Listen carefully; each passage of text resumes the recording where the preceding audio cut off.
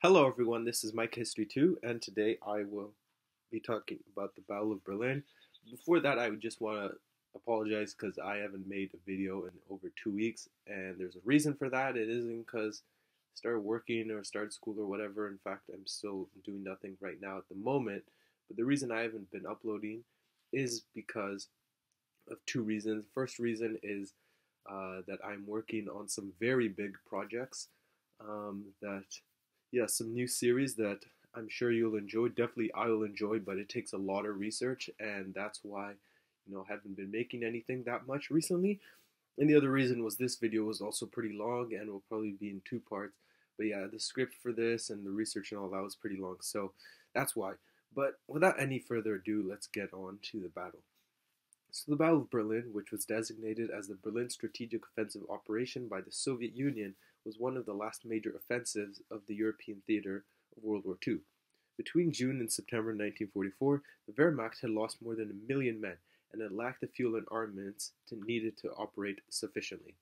On the 12th of April 1945, Hitler, who had earlier decided to remain in the city against the wishes of his advisors, heard the news that the American president, Franklin D. Roosevelt, had died. This briefly raised ho- false hopes in the Führerbunker that there might yet be a falling out among the Allies, that Berlin would be saved at the last moment, as had happened once more, once before, when Berlin was threatened. No plans were made by the Western Allies to seize the city by ground operation. The supreme commander of the Western Allied Expeditionary Force, General Dwight Eisenhower, lost interest in the race to Berlin and saw no further need to suffer casualties by attacking the city that would be in the Soviet sphere of influence after the war envisioning excessive friendly fire if both armies attempted to occupy the city at once. Now, the major Western Allied contribution to the battle was the bombing of Berlin during 1945. During 1945, the United States Army Air Forces launched very large daytime raids on Berlin, and for 36 nights in a row, many RAF Mosquitoes bombed the German capital, ending on the night of April 20th to April 21st, 1945, just before the Soviets entered the city.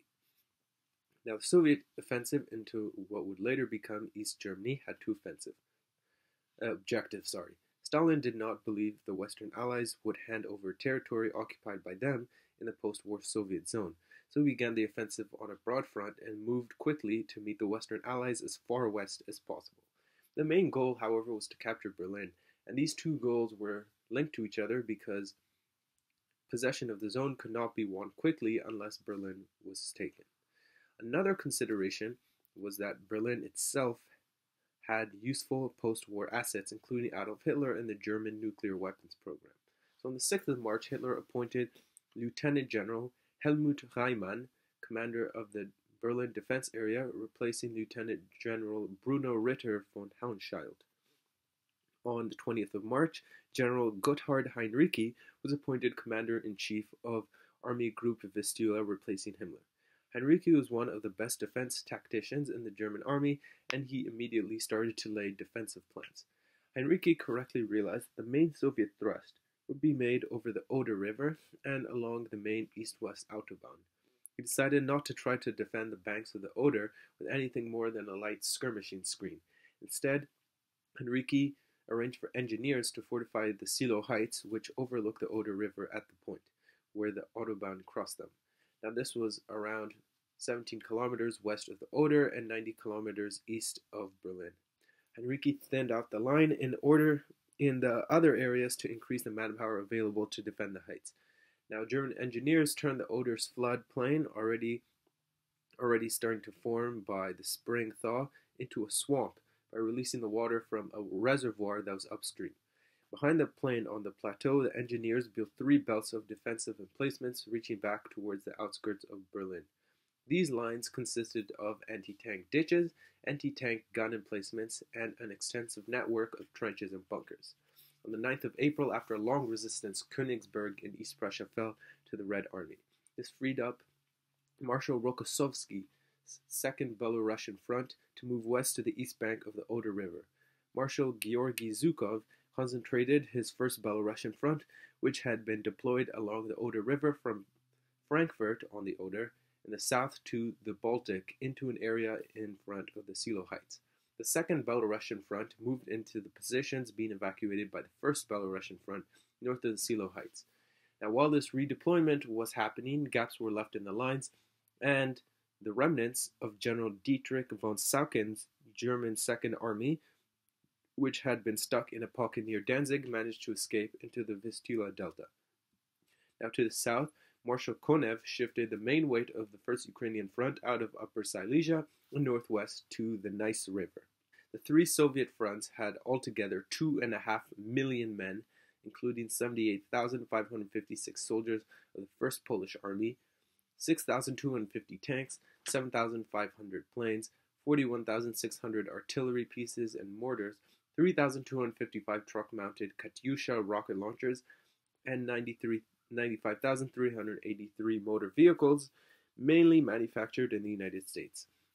The sector in which most of the fighting in the overall offensive took place was the Seelow Heights, the last major defensive line outside Berlin.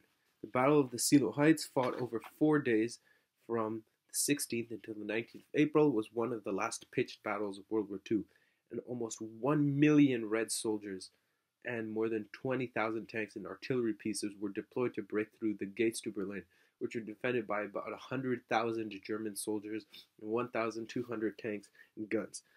Soviet forces led by Zhukov broke through the, the defensive positions, having suffered about 30,000 dead, while 12,000 Germans were killed.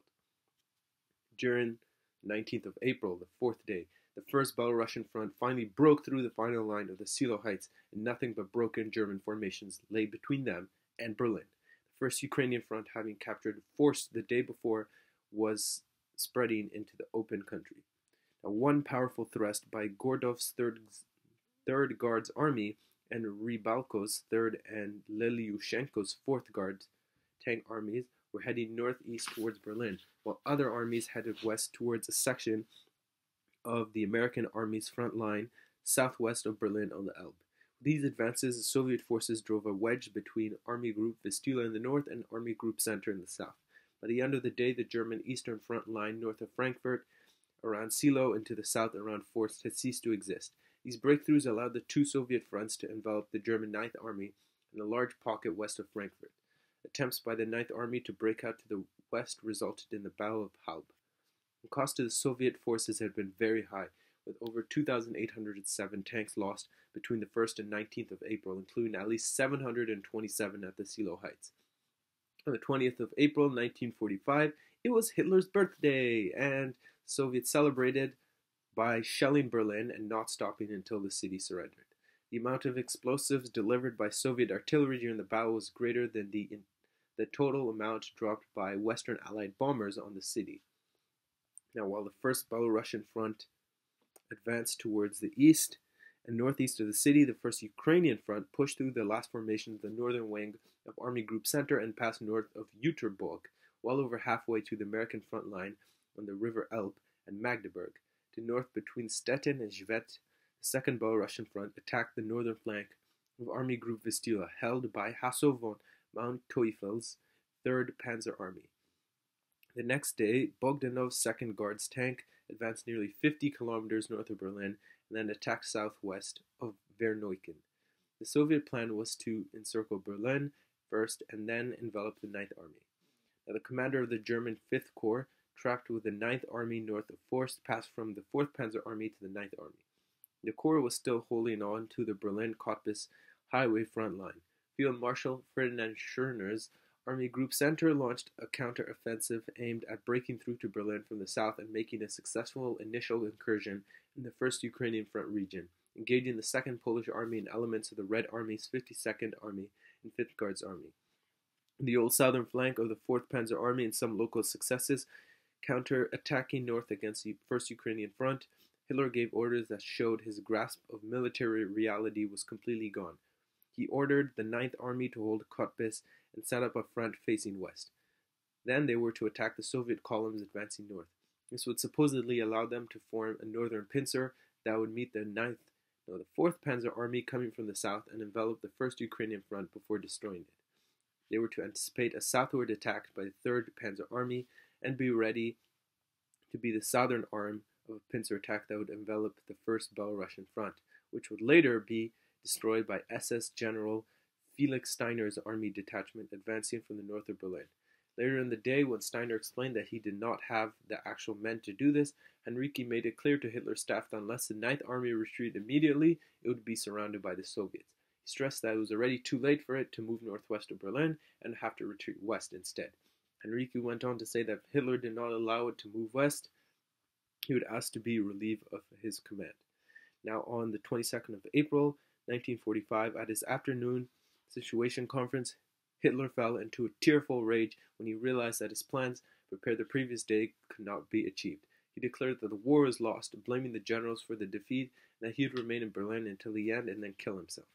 In an attempt to get Hitler to calm down, General Alfred Jodl speculated that General Walther Wenck's 12th Army, which was facing the Americans, could move to Berlin because the Americans, already on the Elbe River, were unlikely to move further east.